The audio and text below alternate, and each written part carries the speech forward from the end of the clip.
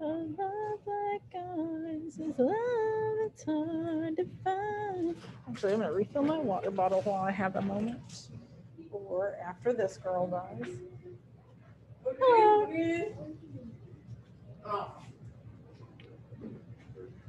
No lie, that's my uh, Is that, is that right? Yeah, that's right. Oh, I finally spelled something right. That is- that was actually my great grandmother's name. Hey, Frankie, I'm doing all right. How about you? It's so cold in my room. It's not a bad- yeah. My That's- room is that's- cold today. that's- that's- Yeah. Definitely.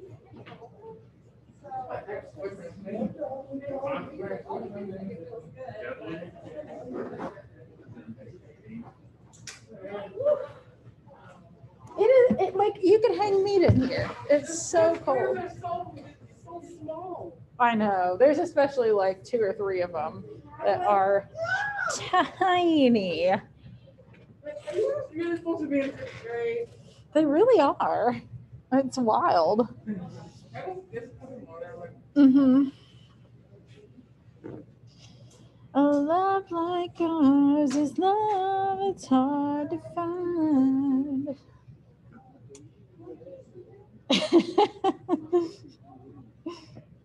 it's been in my head for days. I don't know why.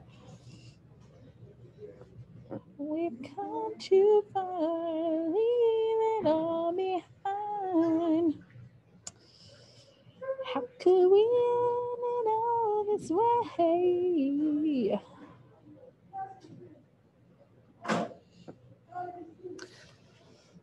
Do you guys think we'll start back next year all in person? Probably not. You don't think so? At this, I don't think so. I have no intel on it. I'm just I'm just wondering. I, I was talking to Miss Kim about it, and she said that she was pretty sure her school in Georgia was going to start back all in person because if kids were going to be virtual, they've already signed up for like Georgia's version of virtual SC. So they just won't go to that school anymore. Um, SOA is basically all, uh, they're all. Really? Oof are people who have chosen to be virtual. Yeah. They don't have a- like a hybrid schedule. Oh, wow. Like they go in one state too. Hmm. I mean, I I hate hybrid. I would also I would almost rather have it either all virtual or I would definitely rather have it all in person. But it's so hard. Like there's there's people that I genuinely don't know what they look like because I've never seen their faces on camera. And wait, in this class? Um, well, in this class, I at least know what everybody looks like because I've seen them previous years. I mean, plus you know how Kyla looks. Hmm. Yeah, you know how Kyla is it. Yeah. Yeah, she is. Is it not so cold in here? Your room is a different temperature. It's like not okay. oh, hi, Zach. Can you not touch it? You can It doesn't do It doesn't do anything. anything. They control it in Columbia, which is not fair. What? I So know. we're breathing cold because some people in I think Columbia. people like at sixty something They won't pay and they're like attention to 70 Why don't they like all of them the same temperature? I don't know. It's It's like, insane. You walk into one, it's like burning hot. You walk Yes. into the next one, freezing. But also, I think they don't know how to fix it because Miss Cathan's room was like burning up, Yeah. and they they came over and they were like, "There's nothing wrong with it," and she was like, "It's 83 degrees in here. Like, it's not, not it's I not okay." into this room I thought I was, I thought I was on fire. Yeah, she's had a lot of problems this year. This is just like. I can deal with it. I mean, if I put on one thing. I thought about going out in my car because I have like a big coat in my car, but it's like 65 degrees outside. Yeah. I think it's like kind of warm up a little bit. Feel like a little bit warmer. It's I like hope- school shouldn't be cold at all. I know. Like, why can't we just keep it like a normal? this is- It's, I, I won't be complaining, but. You know, it's rough for me. Like, it's still like, why you like that? I know. I I don't even keep it this cold at night in my room with like blankets on top of me. 67 degrees. My mom would have told me if I I don't turn wanted. on the heat in my house. like it's- unless it's really cold. Yeah. And I turned off. It was one of the cold nights last week. and, uh, I was like, "Oh, it's 59 degrees in my house." And 59. it dropped down. I was like, oh. No, that's unacceptable. I can't, I can't deal.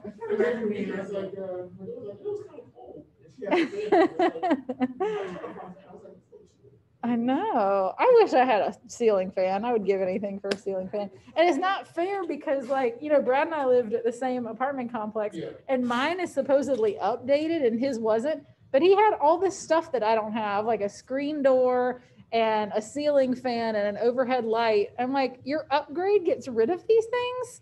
I don't understand. I know. I really complained. I'm fine being cold at night because I have a ginormous weighted blanket that I. I do too. But It's so I nice. hate being hot. And when I'm hot, there's nothing I can do. Yeah, that's true. I, I like being cold at night so that I can bundle up and like have my weighted blanket. But like I've got this little blanket on me and that's all. It's in case you guys didn't pick up on it, it's freezing in here today. It's My 67 degrees. Freezing cold. Oh yeah. And they were like, don't wear those big old jackets. I can't even write my name properly because it's so cold. Yeah. Gosh, we, at least at um at our old building we could control it in the room. Now that's that was a whole different set of problems because people shared rooms and would get so Mr. Benvenuti would get so upset and he like wrote emails to everybody who taught in that room and was like keep it between 68 and 72 nothing outside of that range and he would get so mad if they did okay so let me kind of talk to you all about this week uh, because what we're doing each day is kind of building to later on in the week. Um, obviously, I haven't looked at um, your essays yet, right? I have essays in several classes, so I'm like, is it? Yes. Okay. I have not looked at your essays yet, but um, tomorrow is the plan for that. So today we're actually just going to watch a video together. Um, one of the AP videos, which hopefully when I have assigned those, y'all have been watching them because I, I really do mean it. They are very helpful. Um, and kids in my class last year told me how helpful they were as well. Um, so we're gonna we're gonna watch one together today. I'm not leaving you to do it on your own, and it's about incorporating um, selecting appropriate evidence, which when you're writing a synthesis essay, obviously you have all these sources and you want to be able to pull from them things that are going to help you. And we kind of fall into this trap of like looking through all the sources and just seeing a quote and being like, that looks like a good quote. Let's plug that in there. Or even, and worse, um, finding quotes from three different sources and like building a paragraph around that quote rather than letting the quote support the argument that you're making. Um, that's honestly, I think that's probably the hardest part of writing synthesis essays, uh, which is why we're watching this today. Um, tomorrow is a success session, obviously, and so I'll probably be holding a couple of y'all back to do things. Um, but also tomorrow, I'm going to give you some sources to start looking at on your own. Thursday, we're going to do like a little shorter activity about selecting appropriate evidence. And then Friday, uh, we're going to write a synthesis essay in class using a prompt from, you know, either a past test or like one that someone's created in my AP Lang teachers Facebook group, which is honestly my saving grace. Um, so everything we're kind of we're kind of doing this week is building towards writing an essay on Friday. Um, I want to go ahead and give you the sources on Wednesday so that you have time to go ahead and start looking through those. Um, obviously, with synthesis essays, it's a little bit more difficult to do like a timed in-class writing because you do get more time on those for the AP exam because you have that extra 15 minutes to read your sources. So you'll this time you'll actually have even more of an advantage because you'll get them a couple of days in advance. So that's nice. Um, I think that's all I need to say about that for now. Any questions about any of that before I move on to the video?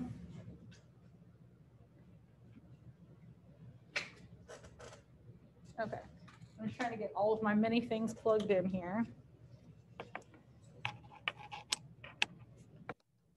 We've come too far to leave it all behind.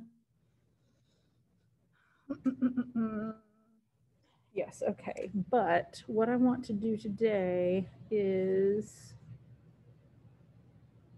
how do I do it?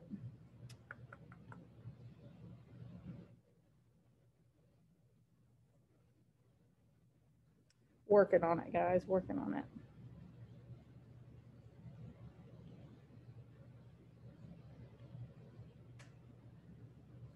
it. Ooh. My mouse just got really big. Okay, I'll keep this up here. But then bring this guy.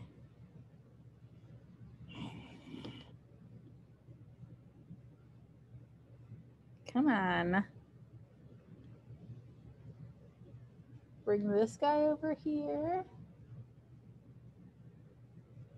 And then, Jesus, sorry.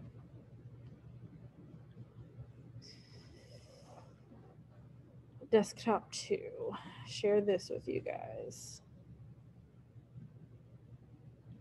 Okay, those of you who are virtual, can you guys see the screen with YouTube on it?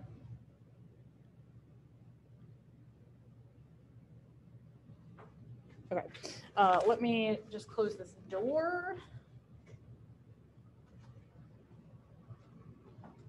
So we won't disturb anyone. Does that say Finn? Yes. Okay. I didn't take a pause in between my roommate. The two ends. Yes. I see. Oh, funny story. I used to get, I used to get, um, detention. Because I used to write my ends like that when I was young. Oh, really? Yes. Well, that seems silly. I'm like, just, just ends. And I might have to adjust this volume again, but we'll see. You have two things we'll be looking at, a prompt, it's labeled four seventeen Oh, prompt that's good. lesson, and then another thing called four seventeen AP practice. About thirty seconds to grab those materials, and I'll get started shortly.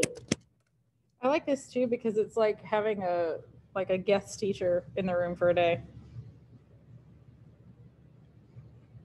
I'm gonna turn my face off.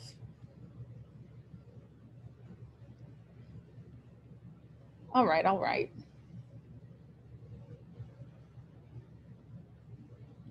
I teach AP language at Naperville North High School. It's about an hour outside of Chicago. And if you tuned in earlier this week, I'm sure you're all, you know, sitting with bated breath. I was talking about how on my two days off, I was going to try to cut my husband's hair, and I'm happy to report he does still have hair. And the haircut worked out okay, and we are still married. I will say I I hope a that's not great her job with husband. that line in the back of his head, but um, I am happy to report that he does have an okay, maybe not great, but an okay looking haircut. Um, but more exciting news beyond my husband's haircut or my haircutting abilities is that celebrity guests are going to start dropping into some of our AP live classes over the next few weeks to recognize all of your hard work and then to provide a unique The guy real-world learning Buster on experience how Arrested some of the Development principles of AP courses have impacted them in their lives. Tony Hale. So in case you wanted to tune in and hear actors or reporters um, that you've seen on television or experts in the field, I think it was always one. um, you can tune in. And our first guest will be That's him. on Monday. You recognize him? Actor Tony Hale. You might know him from Arrested Development or Veep. He's going to join funny. Knight on Monday and share some of his insights. It's going to be amazing. So I hope you definitely turn in for that one.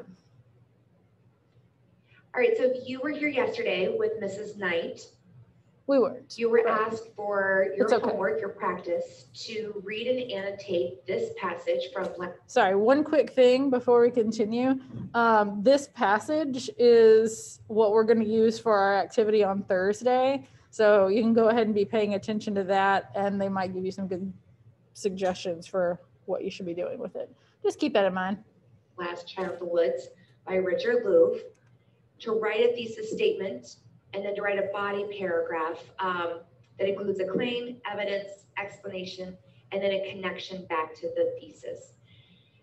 So if you haven't done that, still follow along and I'll give you a sample that might help you. If you did complete this, since we can't see what you wrote, we're going to give you a model and then encourage you to look at yours side by side with the model and annotate it in a similar fashion. All right, so I'm gonna ask for you first to pause the feed, take a few minutes to read through the thesis statement, and then read through the body paragraph, looking at some of our notations on the side about where that student is providing a claim, an example, an explanation, and a connection, and a transition.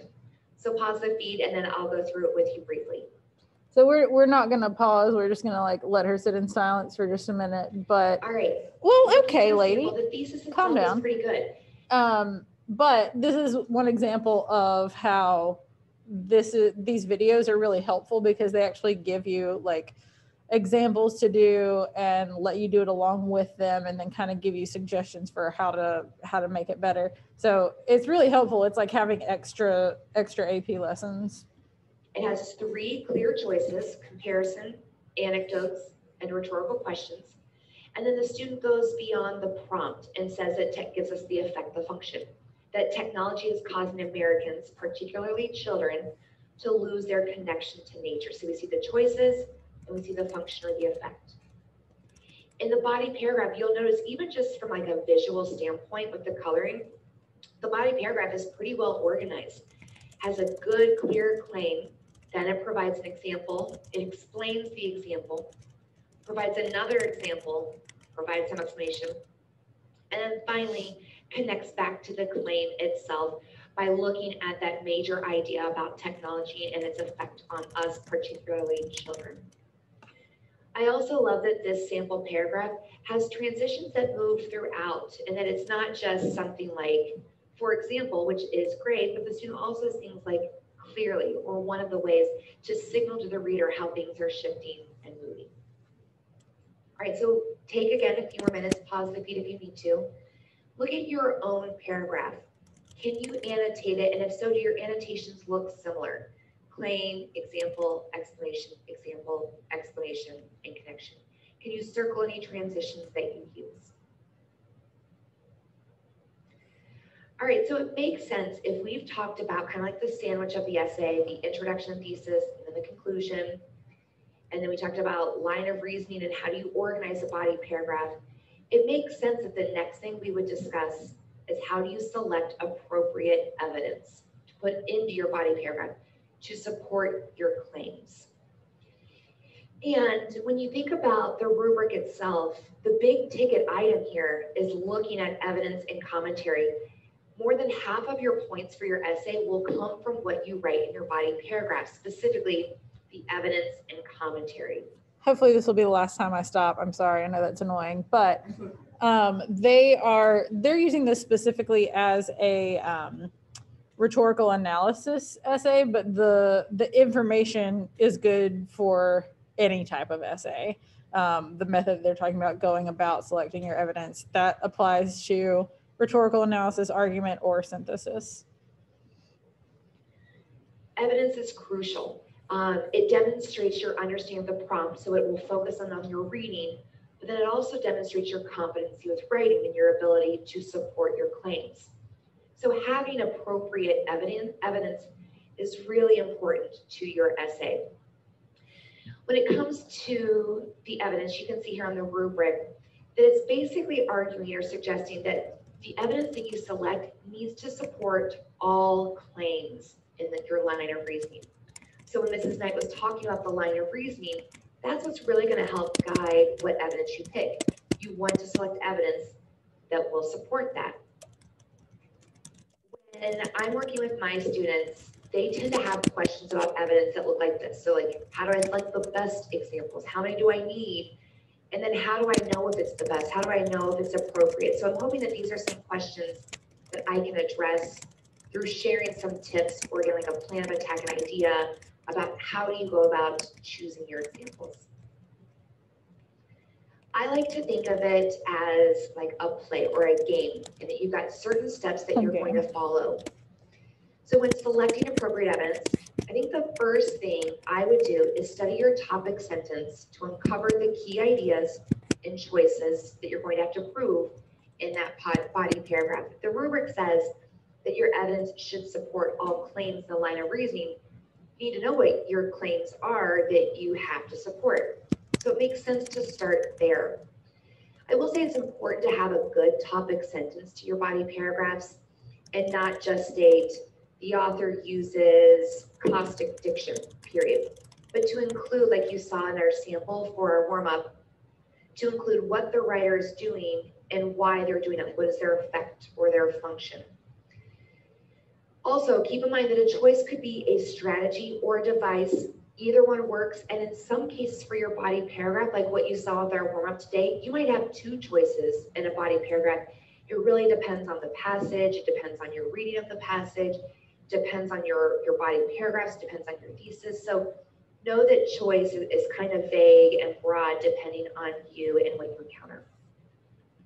All right, the second step in the plan of attack is to then find, after you've uncovered your key ideas you're trying to prove in a paragraph, go back to the passage and find specific examples that reflect or capture those main ideas. I think that this is something that should be done kind of quickly. In fact, in some cases, it's um, something that just strikes you. Oh, I remember that the writer used this. Um, or you might even already have it in your notes on the passage that you took. So on a piece of um, notebook paper, or if you're annotating the passage, you might already have it noted. If not, just do a quick skim, focusing and reading only on examples that prove your choice or the main idea. After you do that, then you're going to want to look at your examples that you've culled together and evaluate the extent to which each will prove the main idea. This is when you're going to weigh the pros and the cons of each. I'm also going to encourage you to think about all of them might be good, but which give me the most leverage? Which do I have the most to say? Um, what can I get the most bang for my buck for and really explore, which then gets you to determining which two examples best prove your ideas. Again, think about which two will give you the best bang for your buck. So to steep our discussion, we're going to study a passage. It's a great speech from Queen Elizabeth I that she was delivering to troops I think it was the night before an invasion of the troops of Spain. And so she's really trying to kind of motivate them and rally them.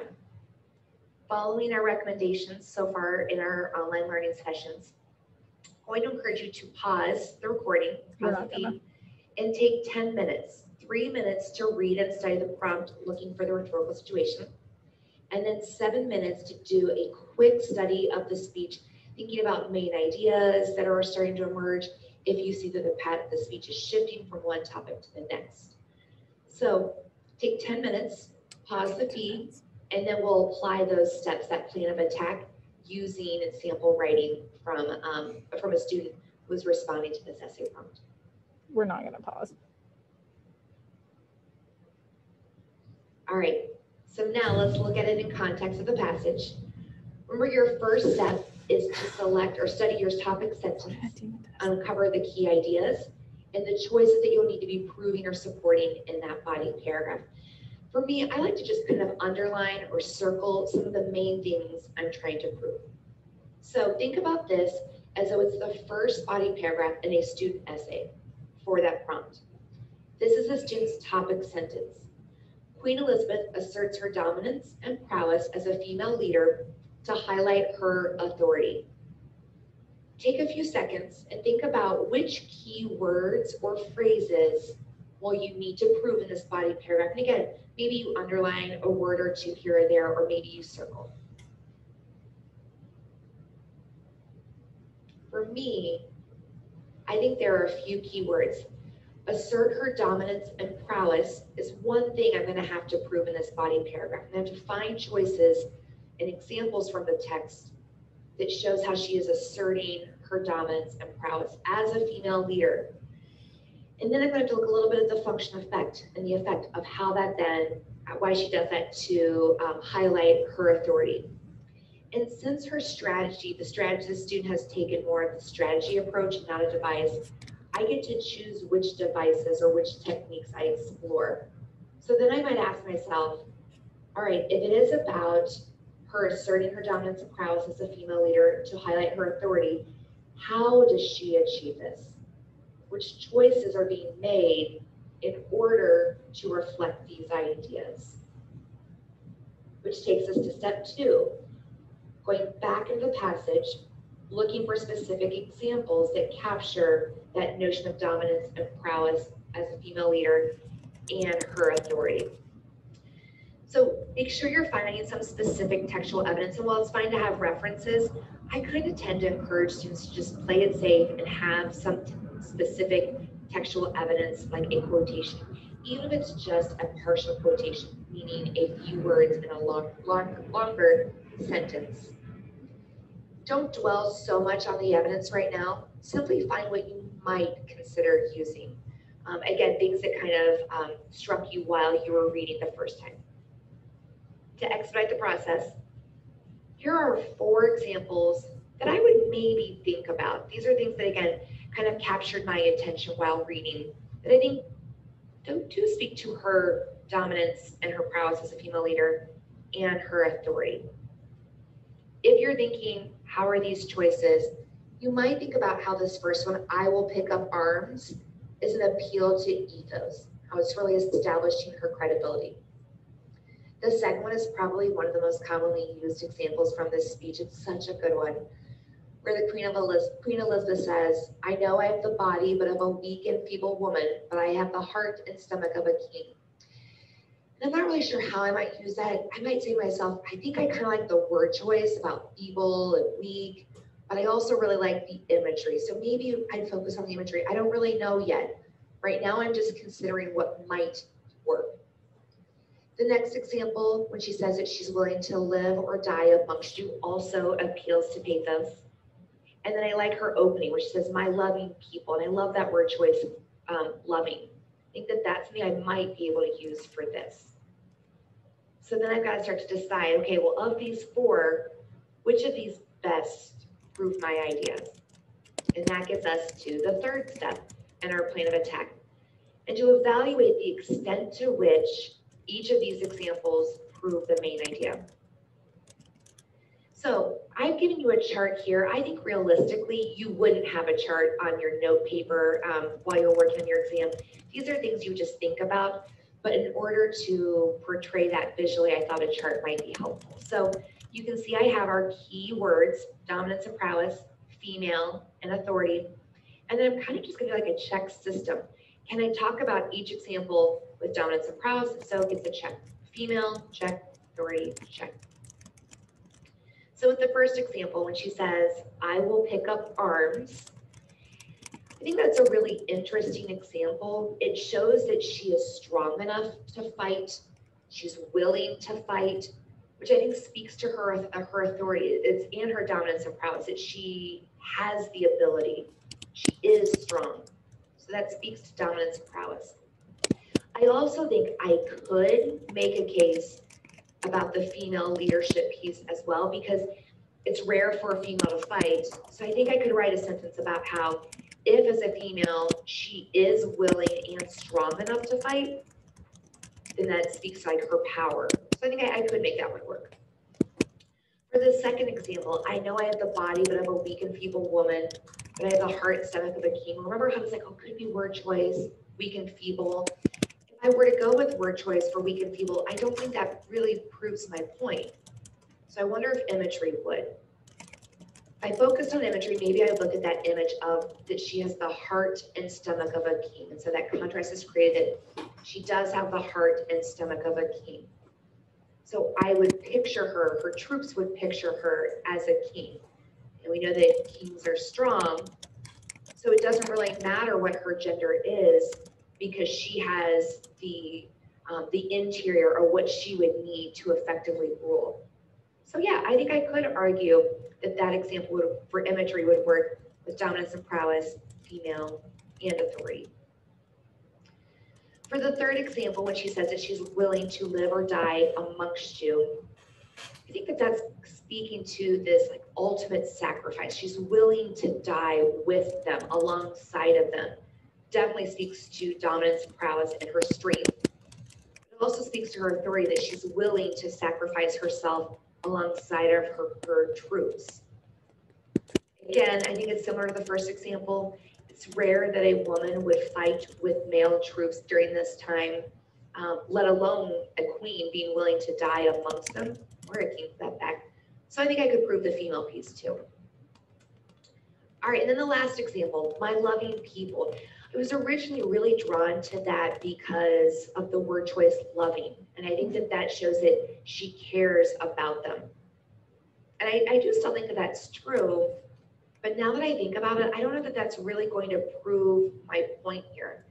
I think it kind of speaks a little bit to females and how maybe she is caring, but that's not what the claim is about. The claim is about her dominance and prowess as a female leader to highlight her authority. And I don't know that that really works. So I'm gonna, I'm gonna remove that one. That one's not perfect. Which then gets us to step four in the plan of attack and choosing the two that best prove the ideas. I have a lot of students who struggle with how many examples do I need to have for each body paragraph? And um, again, I can't give you like a, here's what you must do. I think there are so many variables. The passage, how you're feeling that day, possibly your main idea. It could even be how long your example is, that maybe you have one example, but you could pick out various pieces within. But I think a good general rule of thumb is to have two. That means that your claims are going to be sufficiently supported and that hopefully you will have um, text from different places, examples from different places. So it gives you a lot to say. So I think two is a good rule of thumb, but please know that that's not an absolute. Um, there are so many things that factor into that. When I look at my chart, or if I were to write this 10 right, I'd just looking in my head, okay, of these things, which two do I think I could best prove? I think I'm going to go with these, the second and the third example for several reasons. One, I think that the first and the third example are really kind of similar. And then if I were to weigh them side by side, I would put more stock in her being willing to live and die amongst her troops other than just picking up arms. Maybe I could put those together, but I think I've got more to say about her living and dying amongst them. And I loved my thought about the imagery where the heart and the stomach of the king, her interior is the same, so don't get so hung up on the exterior. So I like that I'm able to focus on her authority in two different ways. It's not going to be too repetitive. So I think that those are the two that I'm going to be able to prove the best. All right, let's practice with the second body paragraph. And this time I'm going to have you guys do a little bit of the work. Think about this as, again, the second body paragraph, the one that follows. And here is the topic sentence, the very first sentence of that body paragraph. It writes, the student writes, furthermore, Queen Elizabeth showcases her leadership by utilizing rousing diction to inspire the troops to fight Spain valiantly. Try it on your own. Pause the feed. Identify what choice the student wants to explore, choice or strategy the student, um, or strategy or device the student wants to explore in this body paragraph and underline any key ideas that the student will have to prove. So pause the feed and then we'll share some ideas. We're not going to. Um, but for the record, this is always stuff you can For go back to if you just want more what I would have. Circled or underlined, rousing diction to inspire them to fight valiantly. And I will say, I did pause a little bit at the leadership because I had a leadership circle with the previous exam or previous paragraph. Except, I think in this case, her leadership is really about inspiring the troops to fight Spain valiantly. So I don't know that that's as crucial of a piece. I think in the first paragraph, it was not just her leadership, it was her female leadership. And this body paragraph is going to focus more on her inspiration. So I'm only going to highlight those, those few words. Just so we're all on the same page. Rousing diction, whenever you're choosing, word choice is a very common thing for students to examine in an essay. You always want to have some sort of a tone word or adjective attached to it. In this case, the student chose the word rousing, which means to induce excitement, to stir, to move them. And then valiantly means to fight um, or to attack something with braveness or courage or strength. So I want you to follow the next step, which is to pause the feed, go back into the speech and see if you can find examples of rousing diction, specific words that will incite some energy or some motivation in her troops.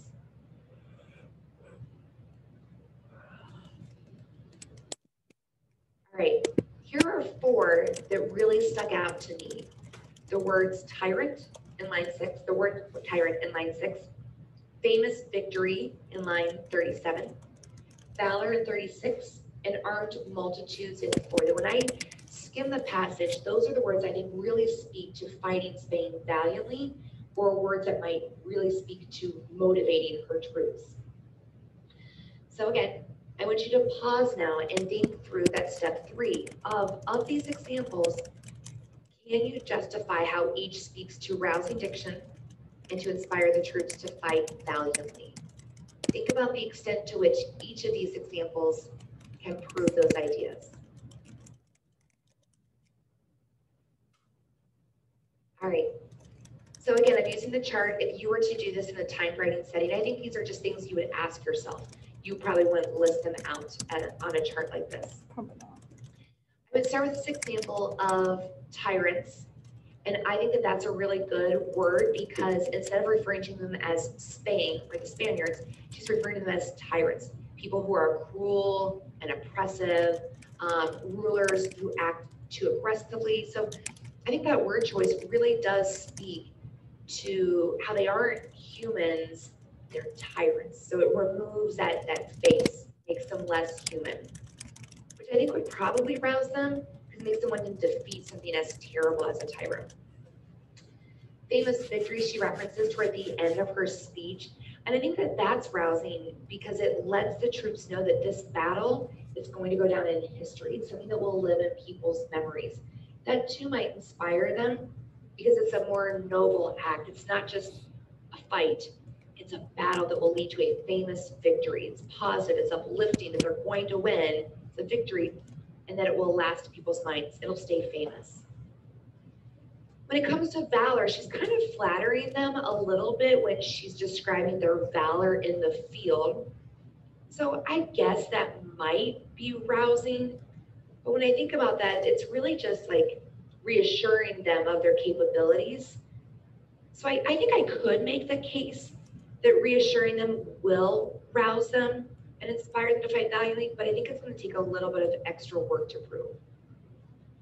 And then looking at armed multitudes, at first glance, I really liked this phrase, armed multitudes. But then when I went back and I studied the passage, I realized she's not, she's speaking to Spain and that those are the armed multitudes they're facing. So that one's not going to work either.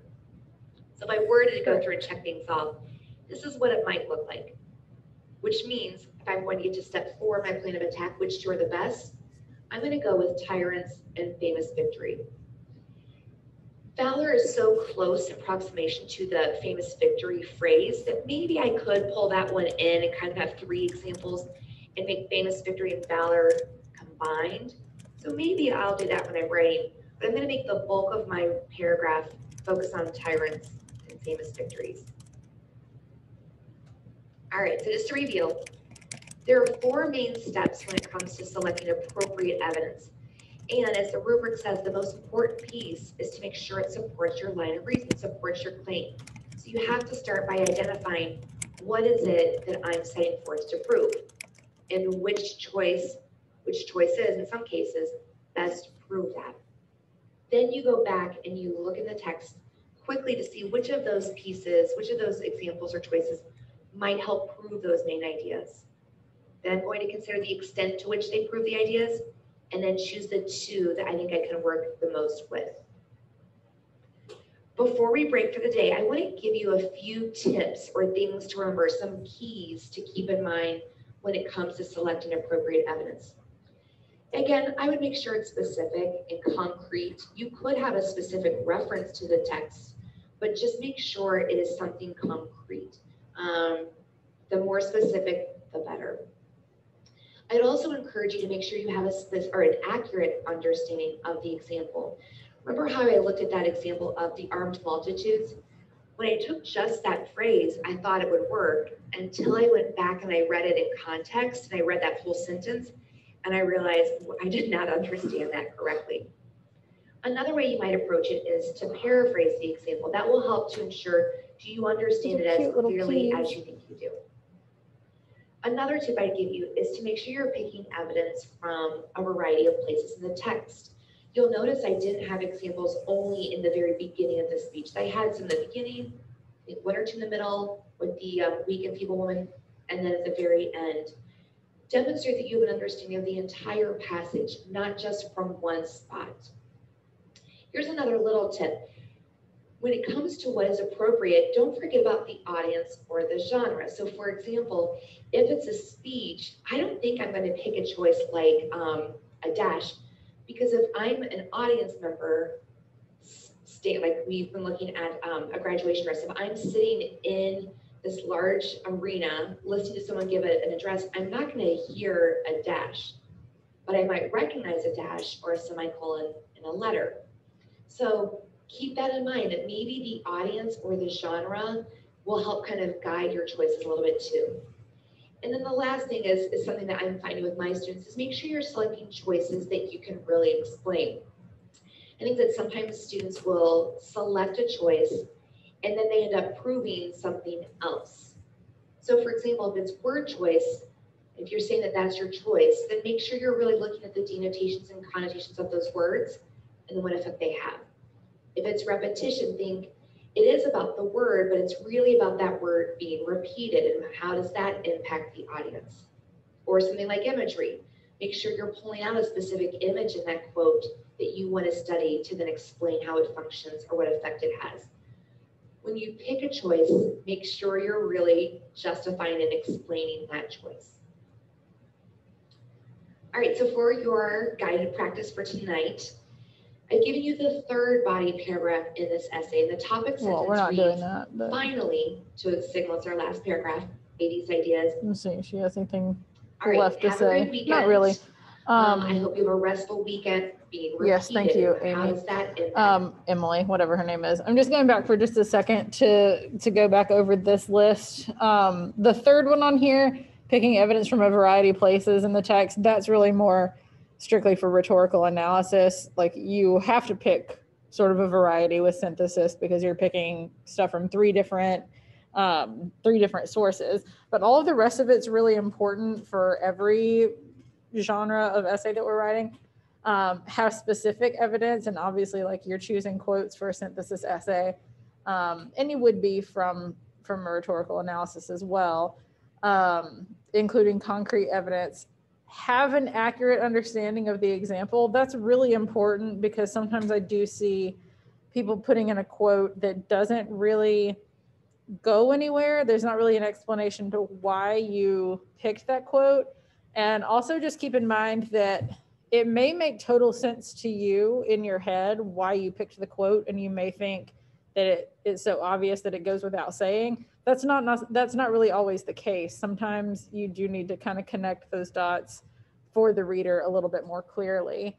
Um, i mean i like what she said about the audience and genre but it's again kind of more relevant to rhetorical analysis. But i feel like this last one select choices you can explain kind of goes back in with what I was just saying that if you're picking a quote from a source, you want to make sure that you can explain why you picked that quote or like what's the relevance of that particular quote and even go like err on the side of explaining too much. Um, definitely better to explain too much and have me kind of think like, yeah, we get it, rather than just putting like plunking down a quote in the middle of it. Thank Oh, you with like with like no idea why you've picked that quote, if that makes sense. Usually I'm, I'm prepared for that. Sometimes he sneaks up on you. The funny thing is, this happens all the time. Like, I'll have my laptop open working at home and I'll be on the phone with somebody and they're like, Is there a man in your apartment? like, no, it's just my computer. Um, deep. Where's my mouse? Good Lord. I'm trying to stop sharing.